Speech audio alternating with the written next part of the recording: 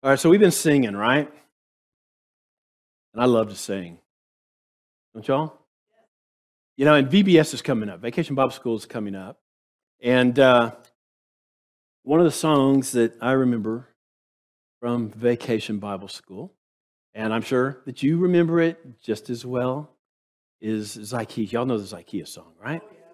Right? Okay, well, why don't y'all sing with me, right? Huh? Yeah. Zacchaeus was a wee little man, a wee little man was he.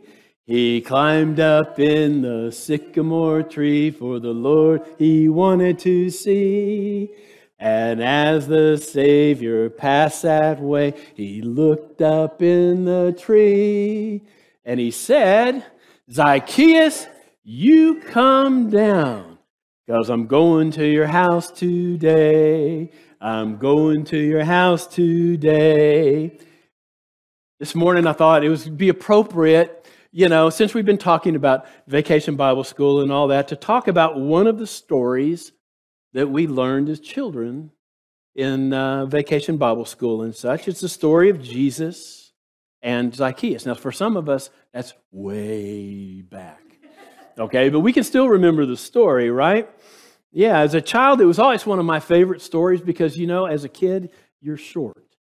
You're small and you can't see around the adults and, and you can't see what's going on. Always trying to see. Beyond that, it was a very simple story. It really is a very simple story with a happy ending. And so the story of Zacchaeus, it really resonated with me, and I'm sure it did with you as well. But what I'd like to do this morning is take another look at that story, since now I'm a little bit older than I was back then, and see what it has to say to us now. You know, even though the song we sang uh, is remarkably close to Scripture as far as it goes, it kind of leaves the story hanging.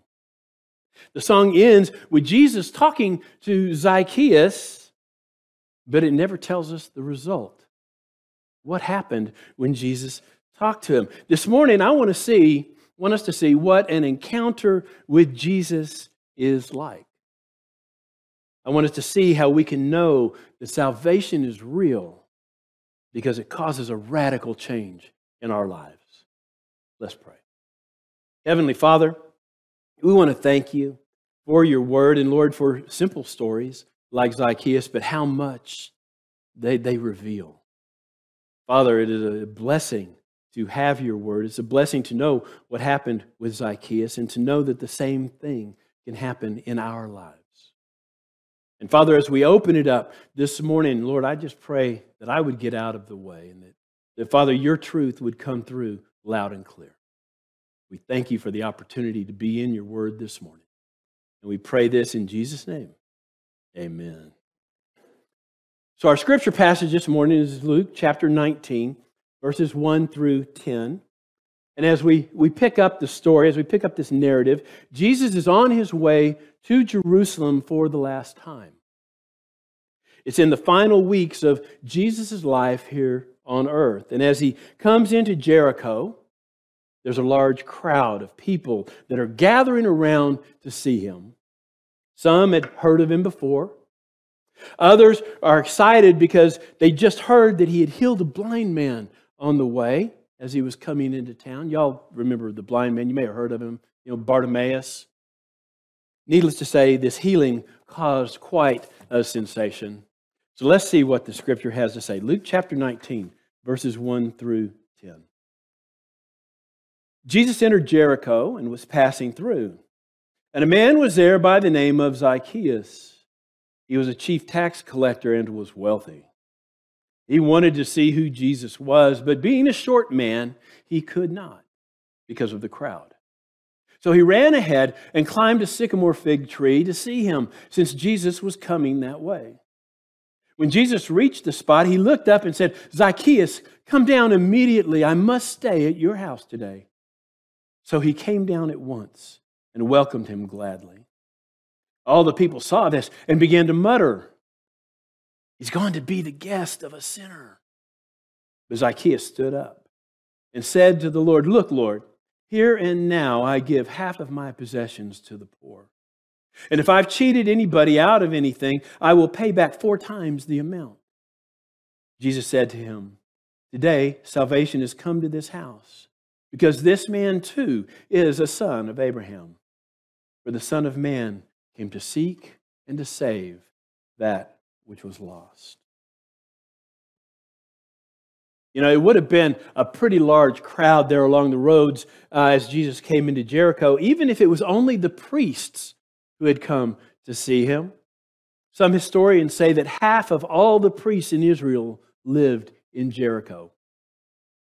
And certainly they'd be curious. They'd want to see this Jesus that they had heard so much about. And obviously, though, it wasn't only the priests that want to see Jesus, it seemed as if the whole town had turned out to line the streets.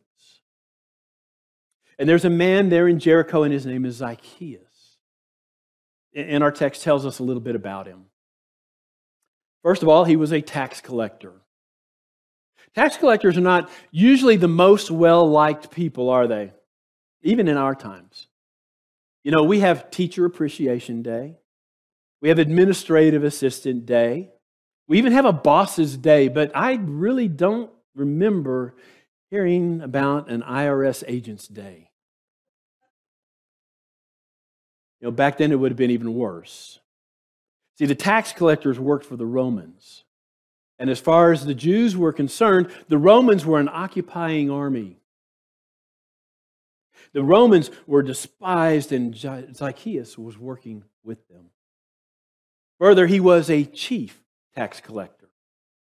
That means he had other tax collectors working for him.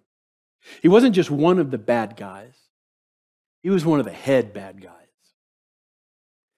Excuse me. We also see that Zacchaeus was rich. The implication here is that Zacchaeus got that way by collecting too much tax keeping the difference. And that's not at all uncommon. And further, it alienated the tax collectors from the people. They were, after all, stealing from their countrymen to line their own pocket.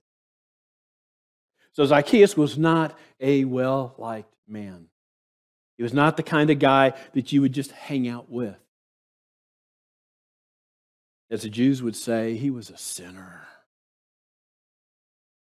Zacchaeus' name is also kind of interesting. You know, many times the names in the Bible have meanings in the context of the story. People gave a lot more thought to names back then than we do now. That's one reason that we see people in the Bible being given new names. You know, Abram, exalted father, became Abraham, father of many. Jacob, the heel grabber, or he deceives, became Israel. He struggles with God. Hosea, salvation, became Joshua. The Lord saves. Jesus renamed Simon to Peter and so on. There's lots of different places where people got new names. Zacchaeus, Zacchaeus means righteous or innocent. Now, certainly Zacchaeus was not righteous. Zacchaeus was not innocent. He was a thief. And as far as his, his neighbors were concerned, he was a traitor. Maybe Zacchaeus is one of those ironic names that people get, those nicknames, you know, like they call somebody tiny when he's this huge guy, right? Or curly when he's bald, you know, and you can just hear it right as he walks down the street, you know. Someone says, Hey, righteous, how much did you take today? Hey, righteous, who'd you rip off this time? Our text also tells us that Zacchaeus wanted to see who Jesus was. He was curious about this man. He was curious about this, this prophet, this, this rabbi. He'd heard that Jesus was different, that he would talk to sinners, that he would, excuse me, be seen with sinners and would even eat with them. And so Zacchaeus, he wanted to see him. He wanted to see what this Jesus was all about. But Zacchaeus had two problems. He had two problems. The first problem was the crowd. There was a throng of people surrounding Jesus as he walked. And there was a crowd that was lining the street, and they would not let Zacchaeus close enough to see. He couldn't see over them. I mean, he was vertically challenged, right? And there was nowhere to go for him to see around them. You know, maybe Zacchaeus, he tried to push his way through, but the crowd pushed back and they wouldn't let him see. So, who was in this crowd? There were two kinds of people. On one side, there were those who represent the world. As it lined the streets and blocked Zacchaeus' view, the world tried to accomplish its goal of keeping Zacchaeus from the Lord. Even today, the world tries to push back and crowd out the message of Jesus. When people are curious about the Lord, the world pushes back in so many ways. The world ridicules Christianity. The world tries to suppress the message of Christ. The world tries to substitute so many things for the one thing, the one thing that can save someone from the eternal consequences of their sin. We see it every day.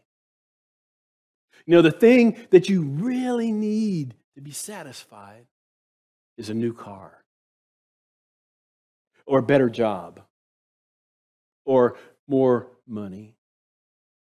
If you don't like something about yourself, then have some surgery to fix it. Your problem isn't spiritual, you've just got low self esteem. Feeling guilty about something? Don't worry, everybody does it. Conflicted?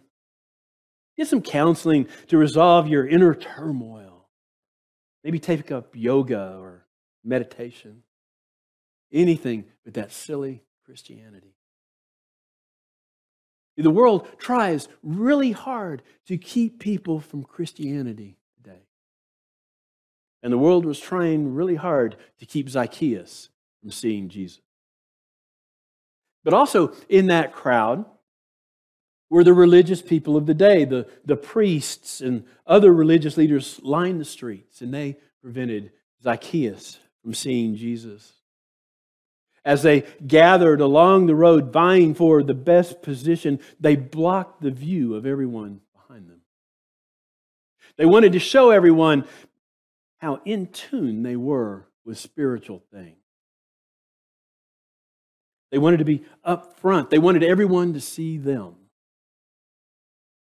They didn't know Jesus any more than those who were of the world, but they had the religious rituals down.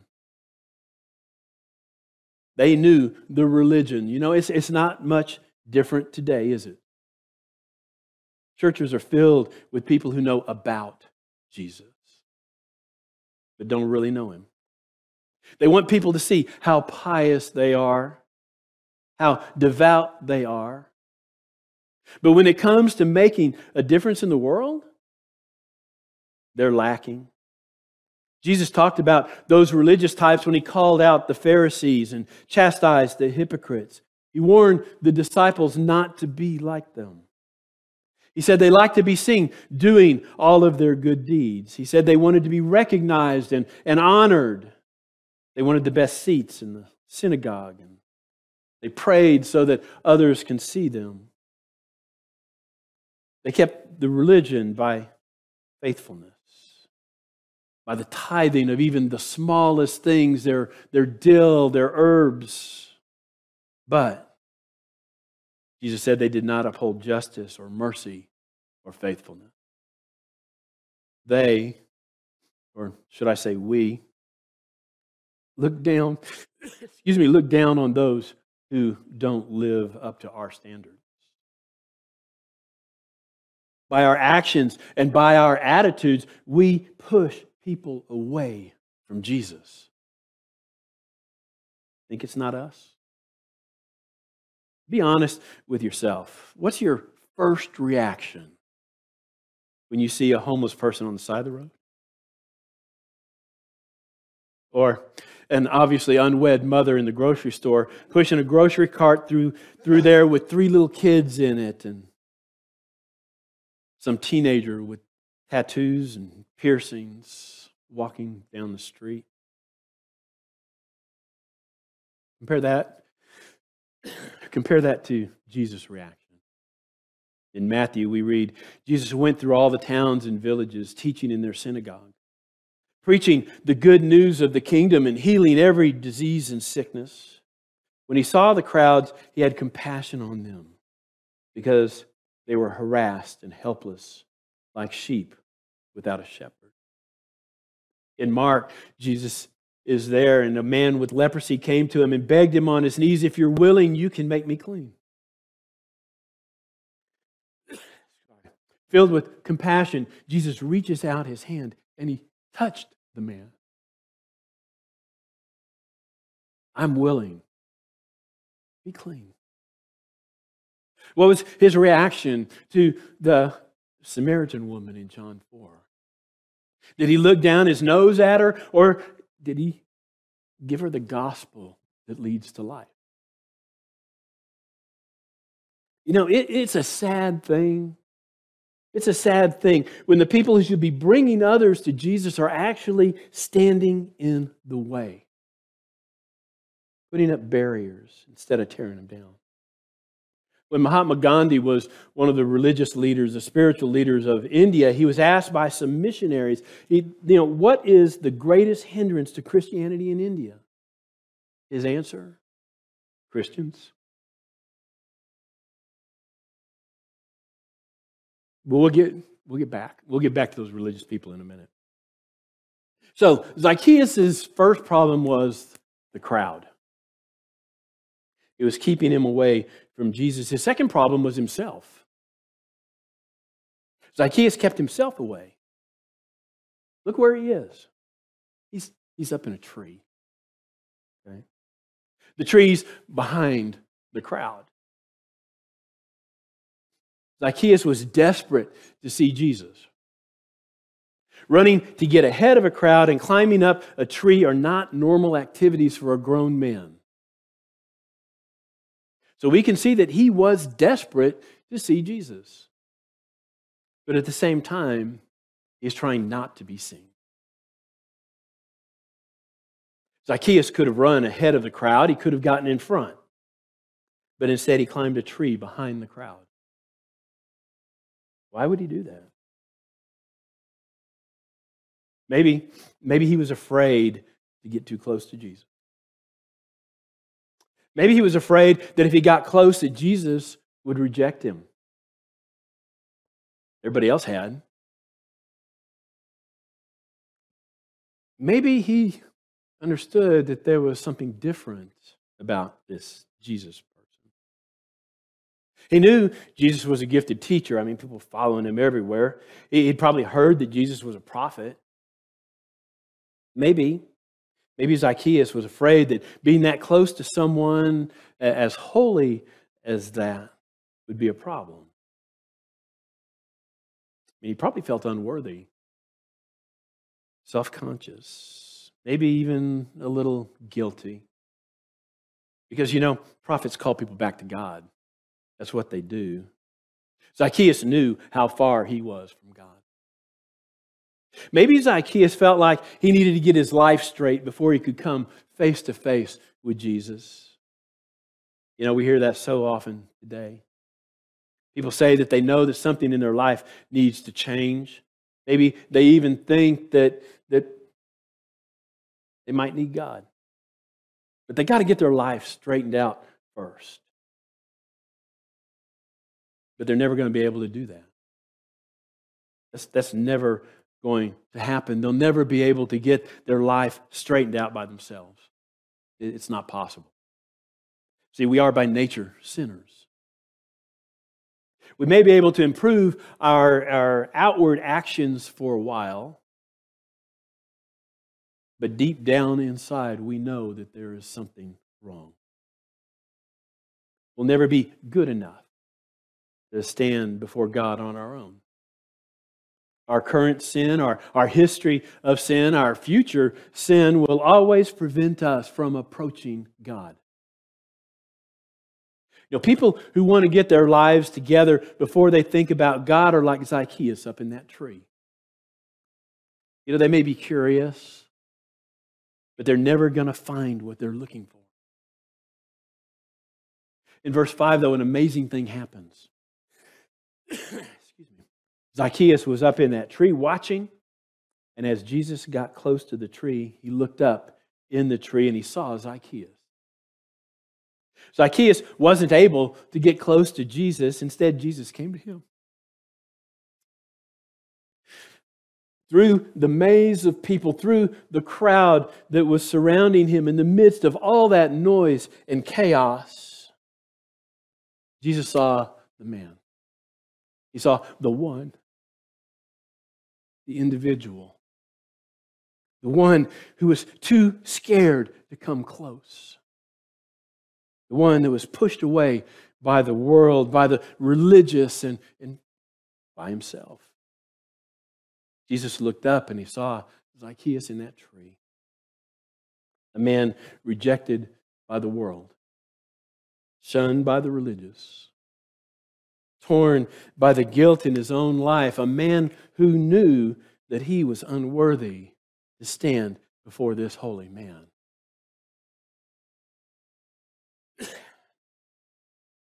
And as Jesus looked up there in that tree, as he stood there looking at him, he said, Zacchaeus.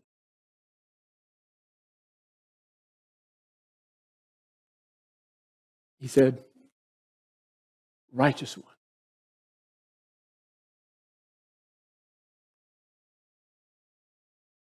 You come down. Immediately. I have to stay at your house. The Word of God is powerful and it's effective.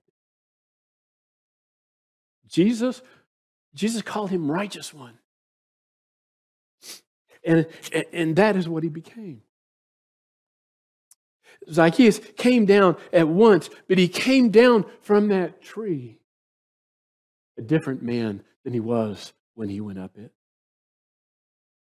When he climbed up that tree, Zacchaeus was a tax collector. He was an outcast. He was rich by the standards of the world, a wealthy man in a wealthy town. He was a man looking out only for himself. He was a man who was ruled by sin. But Jesus called him, and his world changed. Zacchaeus couldn't change himself, it took Jesus to change him. Jesus declared him righteous, and he was. See, Zacchaeus went up that tree as a man of the world, and he came down. He came down as a child of God. When Jesus called him, it was a personal call. Jesus called to him up in that tree. He called Zacchaeus. Jesus called him by name. And isn't that the way it always is? Think back to when you were saved. Was it something in general that brought you to Christ? Or was it specific? Was it just something out there that brought your mind to understand spiritual things? Or was it something specific? Maybe it was during a sermon, the preacher said something that made you think he's talking to me. Maybe it was personal evangelism. Someone was talking to you about Jesus, and all of a sudden it hit you that this was about you, what you needed. See, God calls individuals to salvation. Jesus didn't look up into that tree and say, Whoever's up there, come on down. He calls Zacchaeus by name. And he calls us by name as well. Look what happened when Jesus called him. Verse 6 says, As Zacchaeus came down immediately from that tree, New American Standard says that he hurried and came down. But, but the way I imagine it is that Zacchaeus scurried out of that tree. This head tax collector, this older man, scrambled down to get out of that tree where before he tried to keep his distance from Jesus. Now he couldn't keep himself away. It no longer mattered to Zacchaeus what people thought of him. The Lord wanted him. Zacchaeus couldn't wait. The radical change had taken place in Zacchaeus. He had come to Jesus now. But the Lord didn't want to just shake Zacchaeus' hand and move along. Our text says that the Lord told Zacchaeus he was going to stay at his house. Jesus was going to abide there with him. You know, when the Lord calls us, he abides with us as well. He stays with us. Today, he abides with us through the person of the Holy Spirit. According to Ephesians 4:30 when we're saved, we're sealed with the Holy Spirit until the day of redemption. We are never left alone the last words that Jesus said to his disciples in the book of Matthew give us that assurance. Jesus said, And surely I am with you always, even to the end of the age. But the world wasn't done. The world wasn't done, it wasn't given up yet. Look how the people reacted. Verse 7 tells us that the, all the people saw this and they began to mutter. He's gone to be the guest of a sinner. You know, this complaint of the people is directed in two ways. First of all, it's directed at Jesus. Didn't Jesus know that to be the guest of a sinner was tantamount to sharing in that sin? Look at everything that Zacchaeus has done. He's a thief, he's a traitor. How could Jesus be the Messiah and associate with that kind of a person? You know, it wasn't the first time Jesus heard this. Luke 5, the Pharisees and the teachers of the law complained that Jesus was eating with tax collectors and sinners. In Luke 7, they complained about the loose woman who anoints Jesus' feet at Simon the Pharisee's house. In short, their understanding of their place before God was faulty. They saw themselves as being righteous, as ones who were worthy of the attention of God. But the complaint was, it was also directed at Zacchaeus. Zacchaeus, you're not good enough for Jesus to have anything to do with you. You ever notice what usually happens after you've had some kind of a major spiritual experience? You're up here on this mountain, and the world crowds in and it tries to eat away at that experience. Right now, Zacchaeus is at a spiritual high point in his life. And Satan, through the world, can't stand that. The world is trying to play on Zacchaeus' fears. Just a little while ago, Jesus was up in the tree. Jesus, Zacchaeus, was up in that tree thinking the very same thing. But something's different now. Zacchaeus, Zacchaeus is not the same person he was just a few minutes ago. Verse 8 shows us an amazing transformation. Zacchaeus stood up and announced that he was giving away half of everything he had to the poor. This is the same man who before tried to work every angle to get ahead.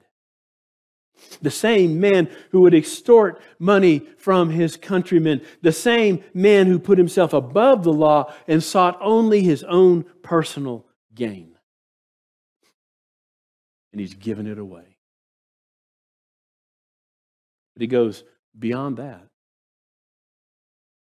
Zacchaeus also publicly repents of his sin against the people and he makes restitution. He said, If I've cheated anybody out of anything, I'll pay them back four times the amount. Now, in Greek, this is what's called a first class conditional. Okay, it carries the meaning of, uh, of something like this. It says, If I have cheated anybody out of anything, and, and I have, I will pay them back four times the amount.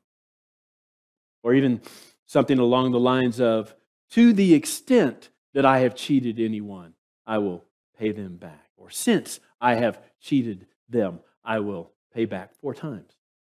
Four times. Now, there's nothing in the Jewish law that would require that kind of restitution. The law calls for a restitution in the amount of the amount stolen plus 20%. Zacchaeus is paying back 400%. His encounter with the Lord has radically changed his worldview. And it shows. His actions show it. Some might see this verse as Zacchaeus trying to do good to make up for all of the evil that he's done. As Zacchaeus trying to earn his salvation. But Zacchaeus is not given away the major portion of his fortune in order to win favor with God, nor to win favor with man. He's not trying to earn his salvation. His salvation has already come. His salvation resulted from his encounter with Jesus. His actions flow from that salvation. He's producing fruit in keeping with repentance as John the Baptist admonished the Jews. Instead of using people for his own gain, Zacchaeus is now looking for a way to serve them. His salvation is shown to be real by the radical change in his life. And Jesus confirmed that change. In verse 10, he says, Today salvation has come to this house because this man too is a child, a son of Abraham. Now, Zacchaeus was a Jew, right? He was from the lineage of Abraham. But that, that's not what Jesus is talking about here. It said Jesus is saying that Zacchaeus is a son of Abraham because of his repentance and faith. Salvation has come to Zacchaeus because he's believed God and he's returned to him. A few years later, in the book of Galatians, Paul would tell us that it's faith that makes someone a child of Abraham. He wrote, Consider Abraham. He believed God and it was credited to him as righteousness. Understand then that those who believe are children of Abraham. The scripture foresaw that God would justify the Gentiles by faith and announce the gospel in advance to Abraham. All nations will be blessed through you. So those who have faith are blessed along with Abraham, the man of faith. And, and further, he wrote, He redeemed us in order that the blessing given to Abraham might come to the Gentiles through Christ Jesus, so that by faith we might receive the promise of the Spirit. Everyone, everyone who trusts in Christ is a spiritual child of Abraham. It's not the physical descent that matters, it's faith. And that faith results in salvation. It doesn't matter whether you're a Gentile or a Jew, it's faith in Christ, the Redeemer, the Son of God, that provides salvation and eternal life. Jesus tells us Zacchaeus has been saved. And then Jesus goes on to sum up his entire ministry in one verse. It's a verse that many of us know. Verse 10, Jesus says, For the Son of Man came to seek and to save that which was lost.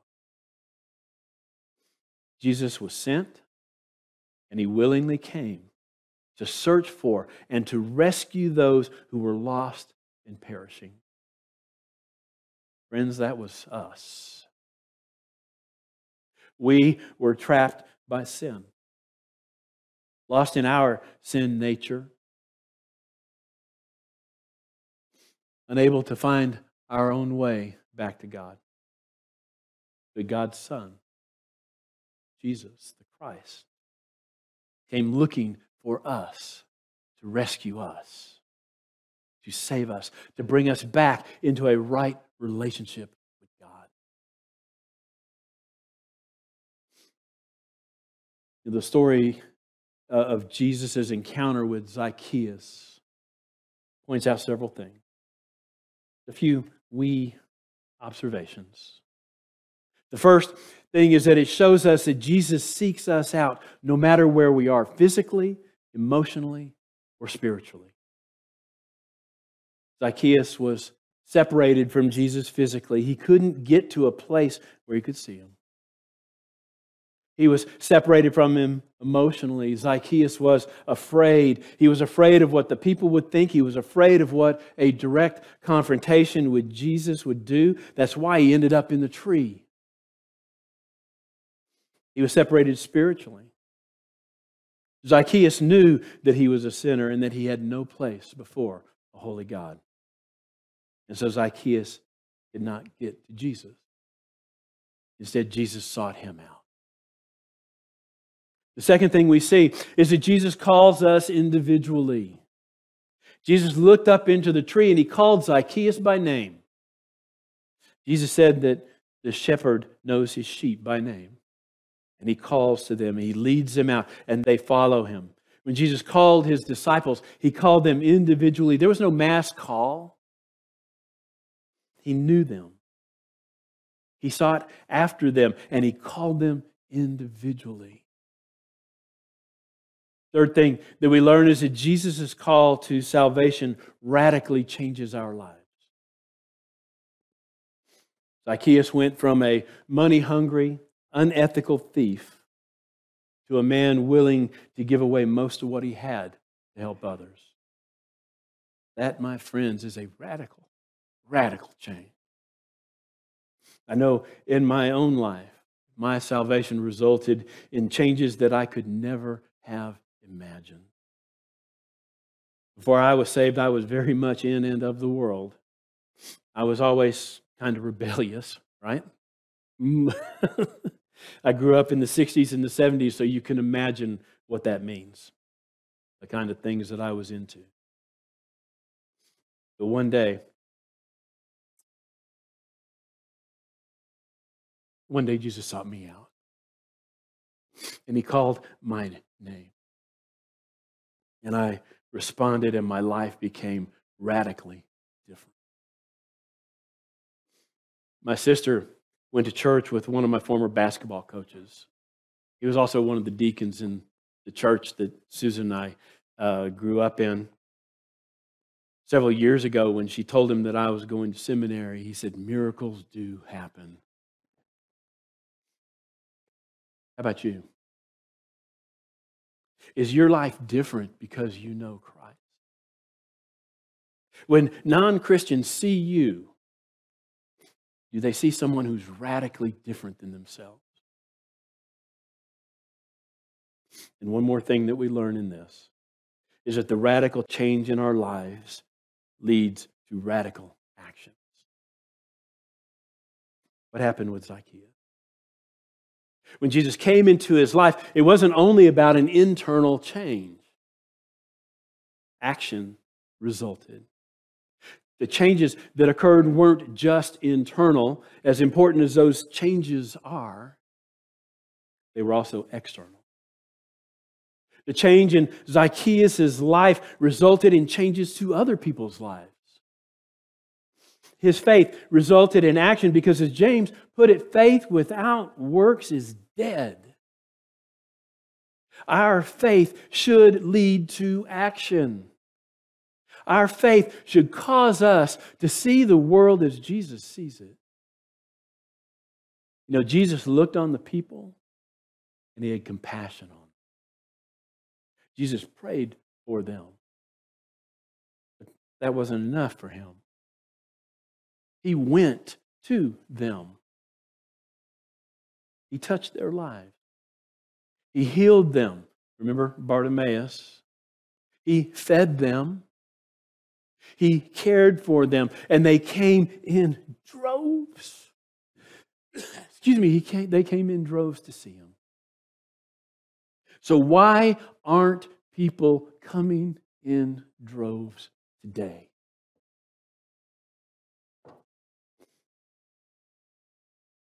Could it be that we're not showing them the real Jesus? Could it be that the Jesus that we're showing them is one who's more concerned about us than he is them?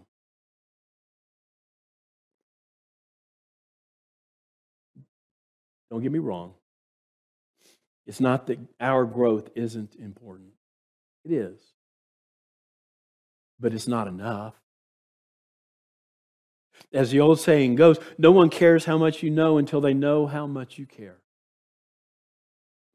We need to be reaching out to the world around us. We need to be caring for the world. We need to be going and making a difference everywhere that we go. So, how do we do that? How can we make a difference in our world today? How can this small church really hope to impact this neighborhood or this city or this country or the world? Well, it starts with us. It starts with me, and it starts with you. Are we willing? Are we willing to let Jesus work in us and work through us in a radical way? Are we willing to scramble down a tree and look like an idiot in order to follow him? You know, it, it might be scary, it might be uncomfortable. But if we keep our eyes on Jesus and if we follow him, it will always be worthwhile. Are you ready? Are you ready to follow Jesus like Zacchaeus? Show the world that your salvation is real by showing them the radical change that Jesus makes in your life.